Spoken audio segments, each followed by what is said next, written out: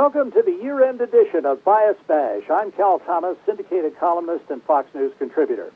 This year provided a cornucopia, a tsunami of examples of media bias. So many it is difficult to choose the best, or in this case, the worst. But with the help of the Media Research Center and a panel of judges, of whom I was one, here are the top five worst examples of bias for 2015.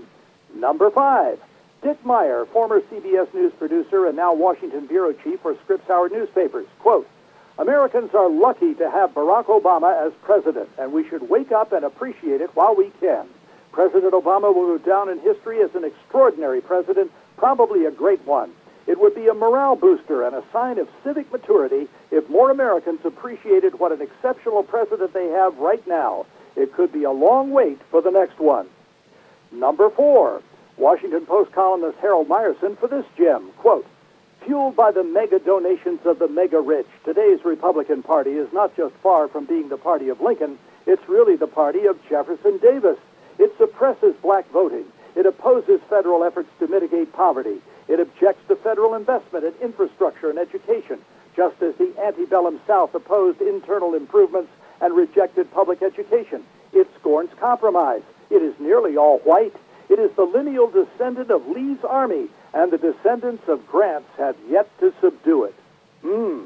Number three, former NBC and CBS Morning News host Bryant Gumbel, who's currently hosting HBO's Real Sports, in an interview with Rolling Stone posted January 20, quote, There are a few things I hate more than the NRA. I mean, truly.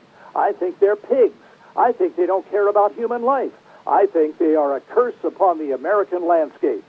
Number two, Mark Halperin, co-host of Bloomberg TV's With All Due Respect on MSNBC's Morning Joe, April 14th. He's talking about Hillary Clinton stopping at a Chipotle in Iowa to order a burrito. Quote, the two words she needs are fun and new. And part of why yesterday was so successful is she looks like she's having fun and she's doing for her new stuff. We've never seen her get a burrito before. Fun and new. And number one, left wing New York Times columnist Paul Krugman, a regular basher of all things Republican, in a December 29, 2014 interview with Vox.com's Ezra Klein. Quote, as a Times columnist, I can't do endorsements, so you have no idea which party I favor in general elections. Right, like the Times is crawling with Republicans and conservatives. There are many more examples of media bias in 2015, and you can find them at the Media Research Center's website, mrc.org. Well, that's Bias Bash for today and for 2015. Be assured there will be many more examples in the presidential election year. For more media analysis, tune into Media Buzz with Howard Kurtz, Sundays at 11 a.m. and 5 p.m. Eastern Time. I'm Cal Thomas. Thanks for joining me on Bias Bash, and Happy New Year.